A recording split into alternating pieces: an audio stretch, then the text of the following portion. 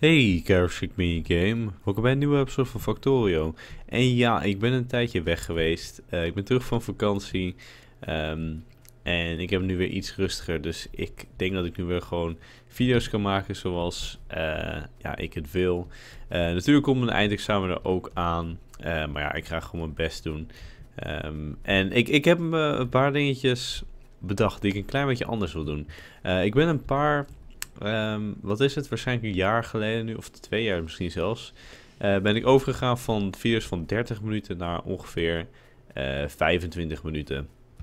Um, en ik zit er nog best wel vaak overheen. En dat is natuurlijk niet erg, maar ja, als ik kijk naar wat voor video's ik nu op YouTube kijk, zou ik liever een video van uh, eh, 20 of 25 minuten kijken die veel inhoud heeft dan een video van 30 minuten waar iemand maar een beetje aan het praten is, weet je wel. Dus ik wil misschien nog verder aan die kortere kant gaan zitten. Ik wil natuurlijk weten wat jullie hiervan vinden. Um, ja, we, we, moeten natuurlijk ook niet te gek worden.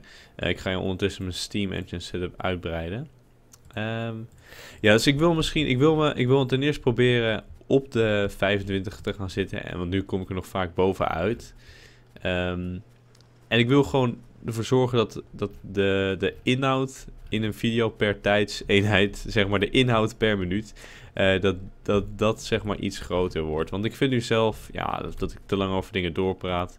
Um, dat kan leuk zijn, maar ik wil niet dat dat het enige is in uh, mijn video's. Hier heb ik wat heel veel overtollige dingen in mijn inventory. Ja, um, dus dat, daar ga ik me een beetje op richten. Ik weet niet of dat meteen gaat lukken. En eerst even kijken wat jullie ervan vinden natuurlijk. Um, en ik weet ook niet of dat meteen deze episode al lukt. Want ik, ik zit nog steeds een beetje uh, in die hele ja, relaxed stijl van video's maken. En dan praat ik zeg maar door. Dat doe ik nu eigenlijk ook wel. Um, en dan wordt het, is het gewoon lastig om iets kort te houden. Dus ik wil gewoon... Ja, we zijn van 30 naar 25 gegaan. Nu wil ik dat nog beter proberen. En daar misschien zelfs een beetje onder gaan zitten mocht dat lukken. Uh, dus dat is een beetje, dat is een verandering. Voor de rest verandert er in principe niks. Uh, ja, alleen dat ik natuurlijk gewoon weer terug ben. Um, ja, dus dat is denk ik wel mooi. Ik, ik heb nu wat uh, steel, toch? Ja, we zouden iets moeten kunnen doen. Ja, twee weken geleden... Um, hoe lang is het geleden? Nou, het is in ieder geval een hele geleden dat ik een vuur heb gemaakt. Twee weken geleden dat ik Victoria heb gedaan. Uh, dus het is nogal wat. Nou ja, ik ga mijn Steam Engine setup uitbreiden. Uh, ik heb er nu 15, dat lijkt me meer dan genoeg. Ik denk er gewoon 10 toevoeg en kijk hoe dat gaat. Dan hebben we nu wel een aardig stroomtekort, dus moeten we wel wat aan doen. Uh, dat ga ik doen. Uh, wat ik ook nog wil zeggen. Ja, de olie setup gaat nu iets beter. Aan het einde van de vorige episode was ik ermee bezig ja, met ons overschot aan light en dark oil zeg maar, goed te gebruiken. ik zie nu, zie nu dat het weer vol raakt. Ja, dit begint echt vol te raken nu. Het begint ook een beetje vol te raken. Uh, dus we hebben hier meer chemical nodig. Ik zal het even um, nog laten zien. Hier gaat de heavy oil in en er komt petroleum gas uit. En dat wordt dan weer terug het systeem gestuurd om verder verwerkt te worden. Um, maar we moeten dit dus een beetje bijbenen, anders gaat het vollopen en dan stopt hier de productie en dat moet natuurlijk niet. Nou, je ziet hier allemaal mooie vlammetjes, dat betekent dat de productie gewoon bezig is. Aan het einde van de vorige episode was het nog een beetje twijfelachtig of het nou op gang zou komen, maar het is nu gelukt. En we kunnen het dus een beetje bijbenen, maar misschien niet echt genoeg. Nou, hier heb ik het ook even gefixt met de uh, zilver. Uh, die kon niet geproduceerd worden omdat hier een waterlijn stuk was. Omdat we hier een keer een, uh, een aanval hadden gehad. En hier miste ook een chemical plant en een storage. Oh, en wat pipes missen hier, geloof ik. Dus het is nu weer bezig. Worden batteries geproduceerd. De treinen zouden ook gewoon moeten gaan lopen. Ik weet niet of ik ze... Ja, deze staat op automatic. Uh, plastic bar dan 500 en battery dan 500. Het is een tijdje geleden dat deze treinen gereden hebben. Um, Oké, ja, plastic, plastic is natuurlijk gewoon doorgaan al die tijd. Dat is ook wel te zien. En battery is, is even gestopt, omdat het kapot was gemaakt. Als goed is, vertrekt deze zo. En deze, want ik kan me ook wel herinneren dat ik eentje op uh, manual had gezet. Nou, blijkbaar heb ik dat niet gedaan. Wait until 50 seconds past. Ik weet niet wat er hier gebeurt, maar ja, dat ga ik me dan maar even uitzoeken. Dus uh, dat ga ik even doen en ik ga ervoor zorgen dat we genoeg stroom hebben. Oké, okay, daar gaan we dan. Ik ben benieuwd wat dit voor ons gaat opleveren. Uh, wat ik verder heb gedaan, uh, aan het einde van de vorige episode, zijn een aantal onderzoeken. Performance is laag. Ja, ze hebben niet genoeg water, hè? Dat is niet goed. Nee, dit ga ik even af, afkappen. ja, ik wou eens even proberen of met drie offshore pomps genoeg pomps, pompsnelheid zouden hebben om um, ja, vier reeksen aan steam engines te kunnen voorzien van water. Is dus niet het geval. We hebben voor elke reeks een losse offshore pomp nodig. Dit is iets waar ik van uit was gegaan, maar ik heb het eigenlijk nooit getest. Dus dat weet ik dan nu. Uh, ja, die hebben we zeker wel nodig.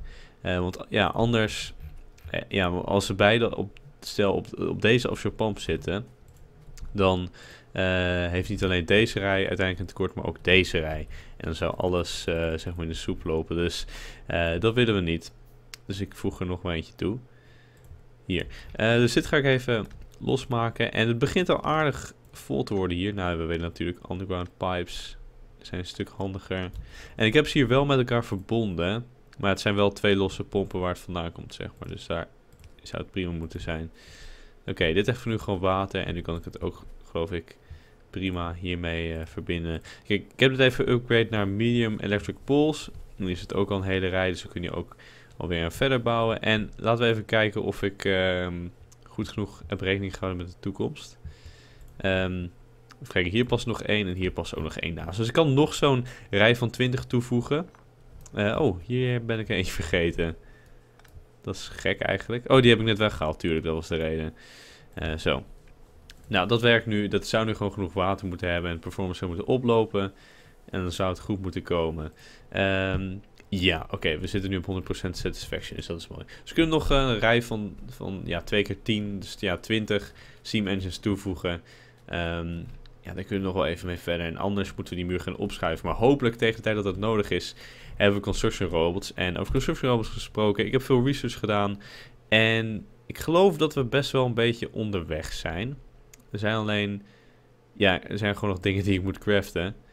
Um, ja, ja. Wat, wat, heb ik allemaal geresearched? Ik weet het allemaal ook niet zo goed meer.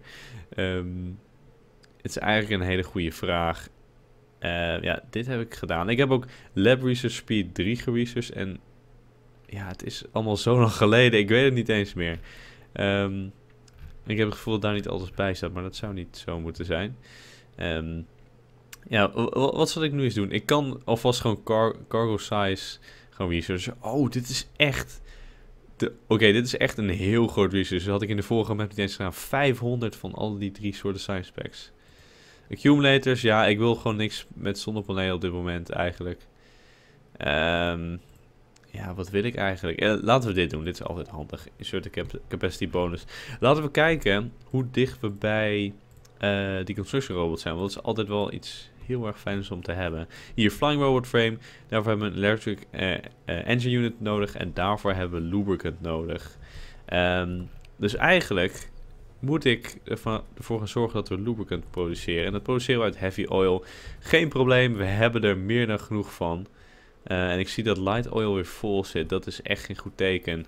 Um, ja, dat is eigenlijk helemaal niet fijn. Misschien moet ik dit op een andere manier gaan opzetten, zodat het makkelijker uh, uit te breiden is. Hmm. Kijk, wat ben jij? Uh, laat ik even op alt drukken, dan worden dingen duidelijk. Even kijken, hier gaat... Oh ja, eerst... Oh ja, heavy oil die gaat eerst naar light oil.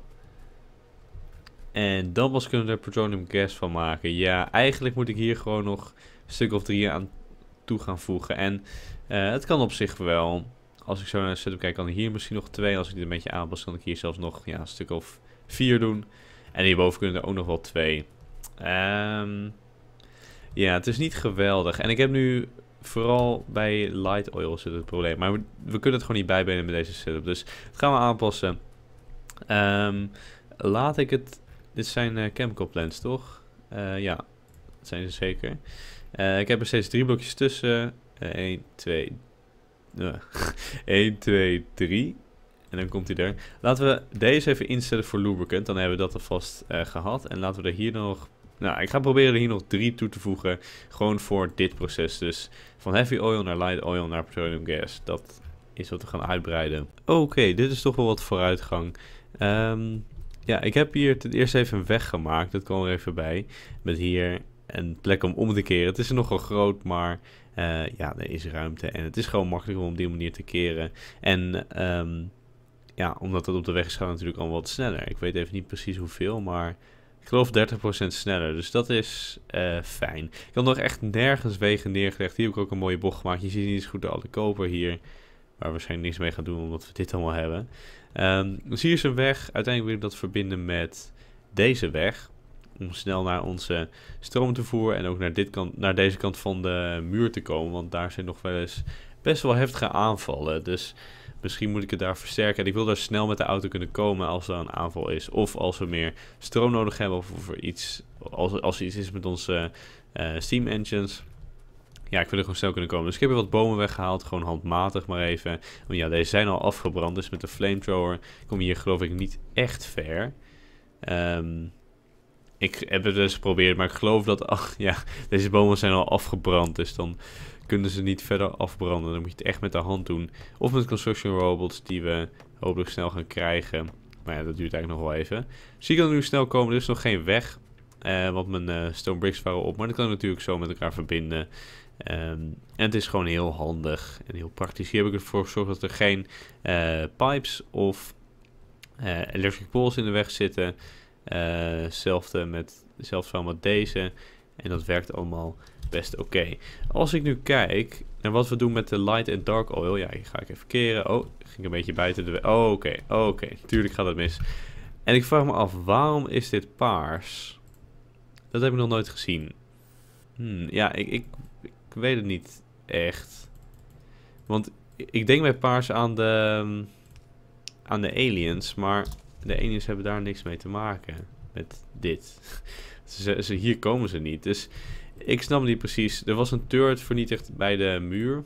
Uh, aan uh, deze kant. En daar was dus ook paars. Dus ik dacht misschien heeft het iets met de aliens te maken of zo. Maar ik krijg nu hier ook. Ja, dit is eigenlijk te smal. Om echt comfortabel te kunnen rijden. Dat is nu wel te zien. Uh, mag ik het ook fixen? Ja. Oké, het is eigenlijk te smal. Het, net lukt het gewoon prima, maar ja, ik weet niet. nou ja, moet ik misschien nog wat aan doen. Dit kan ik op zich nog wel een paar blokjes naar beneden verschuiven als ik het allemaal netjes organiseer. Uh, wat er nu gebeurt. We hebben drie nieuwe um, chemical plants om light oil te veranderen naar, uh, om dark oil te veranderen naar uh, light oil.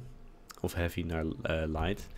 En ik heb dus ook drie toegevoegd om daar dan petroleum gas van te maken. Dat is allemaal leuk en aardig, maar ja, omdat we dus dit omzetten naar dit, naar light oil, is er nog steeds heel veel light oil over. Dus dan wil ik hier drie nieuwe um, ja, zelfstandige chemical plants toevoegen die geen extra, waar, waarvoor geen extra light oil wordt geproduceerd. Want light oil hebben we echt veel genoeg van nu. Um, dus dat ga ik hier even instellen. Dat wordt alleen deze, dus light oil naar petroleum gas. En dan gaan we dat maar gewoon proberen. Er moet dus ook weer water naar boven komen. Ik geloof dat het watertoevoer prima is. Ah, je ziet het soms haperen. Misschien moeten we op een gegeven moment een tweede offshore pump toevoegen. Ik heb daar niet echt veel zicht op. Het komt nu allemaal van die ene pump heel ver weg.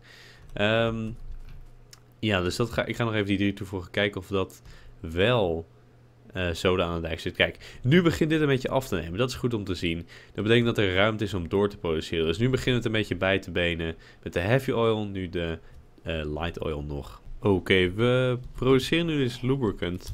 En jullie zien dat ik hier deze drie nieuwe chemical plants in werking heb gezet. Hebben ze al invloed gehad op de hoeveelheid light oil? Nee, die is nog steeds veel te veel. Dus ik denk dat we hier nog wel doorgaan met drie of vier extra uh, chemical plants. Die ja, puur en alleen light oil naar petroleum gas uh, omzetten. Zit met water, is toch oké. Um, ja, weet je wat het is? Dit is ook gewoon helemaal vol, vol dat petroleum gas. Dus ja, dat betekent dat dit helemaal vol zit, deze leiding. Dat betekent dat deze oil refineries weer helemaal niks doen. Dus ja, het komt er gewoon op neer dat we veel te veel produceren eigenlijk voor ja, onze opslagruimte. Dus ik kan nog wel een hele grote opslag voor um, petroleum gas gaan toevoegen, maar ik denk niet dat het heel veel zin gaat hebben. Even kijken, dit komt... Ja, het komt wel allemaal goed uit, zeg maar. Um, ja, nou, eh, ja, ik weet niet, dit is lastig. Um, maar ja, in ieder geval komen nu een beetje van die heavy oil, oil af. En als ik die nog een beetje uitbreid, komen we ook van die light oil af. Uh, anders zou het wel zonde zijn. Oké. Lubricant produceren we hier. Ik heb hier alvast storage tanks gedaan. Hier staat een assembly machine. Ik weet nog helemaal niet of het uiteindelijk ook precies hier gaat komen. Het wordt gewoon ongeveer in dit gebied. Ik kan dit natuurlijk weghalen. Dat scheelt wel qua ruimte. Dat is fijn. Ehm, maar ja, dit is voor, die, voor deze dingen, voor die flying robot frames. Daarvoor hebben we batteries nodig. Ehm, nou, die hebben we hier. Die produceren we hier beneden, dus dat is geen probleem. Um, Electronic Circuits die ga ik hier helemaal halen met de trein. En steel is nog maar de vraag. Ik denk dat dat met een uh, transfer belt gaat doen, maar ik weet niet zeker. Uh, maar voor die flying robot frames, voordat we daar al aan kunnen denken, hebben we electric engine units nodig. Daarvoor hebben we, ja, dus zoals ik zei, electronic circuits nodig. Die gaan we hier dus uh, met de trein brengen. En engine units. Um, ja, dat is de vraag. Doen we het met de trein of met de transportbelt? Ik denk in dit geval met de transportbelt, want die zijn hier. Die kunnen heel makkelijk gewoon naar boven komen. Maar, ja, het probleem zit hem dus in de electronic circuits. En heb ik ergens... Heb ik ergens nog rails? Ah, die zou ik hier moeten hebben, heel veel. Ja, oké, dat is mooi. Um, ja, die electronic circuits kunnen we niet zomaar transporteren, want dit is het, weet je. Het is heel erg krap. Wel compact, dat is fijn, maar het is heel erg krap. Op het moment dat we niks researchen, um, produceren we geen, in principe geen groene science specs. Ja, nu, nu nog wel even, want ik heb het laatst weer naar een steel chest. Dus oh ja, van de iron chest zijn weer heel nieuwe slots die je moet vullen. Maar in principe is dit gewoon altijd vol. Tenzij we echt heel veel research achter elkaar doen. Dus we hoeven geen green science specs te produceren. En dat betekent dat we geen inserters hoeven te produceren. Dat betekent dat deze band voor uh, electronic circuits niet wordt gebruikt. Want het enige nut van deze electronic circuits is dat ze naar de inserters gaan. De andere, laten we even buiten beschouwen, die worden ergens anders voor gebruikt. Maar deze band is op dit moment zinloos. En deze twee CNC-machines doen gewoon helemaal niks. Dus ik heb zoiets van, laten we dit, dit overschot gewoon naar boven transporteren met de trein. En dat wil ik dus hier gaan doen. Ja, het is niet de meest voor de hand liggende route, maar dat heb je met treinen. Sporen nemen veel ruimte in. Je kan niet altijd uh, precies hebben wat je wil. En weet je, die treinen gaan hartstikke snel. Dus het zou denk ik niet heel erg zijn. Ik weet niet of het gaat lukken. Maar we zouden dus hier langs moeten gaan met een heen- en terugspoor. Ja, heel veel bomen nog. Heel veel ruw terrein. Het is eigenlijk een moeras hier. Maar we hebben landfills. Dus weet je, het zou moeten kunnen. Nou, ik heb er wel geteld vier. Oh, daar komen we niet heel ver mee. Uh, maar ik kan er wel langs lopen. Ja, met landfills kunnen we dat fixen. En dan hebben we dit hele gedoe. Ja, moeten we dus overheen ja, hier kan ik wat underground belts van maken. Kan ik hier zo langs. En uh, ja, ik heb nu net deze weg toegevoegd. Ik denk dat die dan gewoon laat bestaan. En dat ik zeg maar het, um, het ene spoor aan deze kant van de weg doe. Dat is eigenlijk ook wel een mooie setup, vind ik. Want dan heb je, ja, heb je wegen en sporen in, één. En aan de andere kant ja, doe ik dit. Dit is ook iets wat ik bij de vorige map uh, aan het einde wou doen. Dus gewoon een mooie brede weg met twee sporen. En dan komen we uiteindelijk hier uit met een mooi station de processors worden afgeleverd. Dat is nog gewoon route. Maar ja, uiteindelijk moeten die processors toch ergens heen, weet je. We kunnen niet alles op die ene plek blijven doen. Um, ja, mogelijkheden om het op dit spoor te doen, ja, zijn er heel misschien wel. Ook al is het dan echt heel erg lastig om hier ergens nog een station in te verwerken. Ik denk niet dat het slim is, want dit spoor is al heel erg vol. Um, en er is gewoon heel weinig ruimte overal. Ik heb nu net deze mooie lab Dus we doen het gewoon via de andere kant. Ja, dat was zo voor alles voor deze episode. Best wel wat vooruitgang gemaakt. En ik weet nu ook iets beter welke kant ik op wil. Ik heb eigenlijk een beetje structuur in de base met wat uh, wegen. En dit is ook iets wat wel echt een uh, mooie setup begint te worden. Uh, en als we eenmaal die construction robots hebben, ja, dat helpt natuurlijk ook heel erg. maar dat komt wel later wel. Dus ja, dat was het alles voor nu. Tot de volgende episode.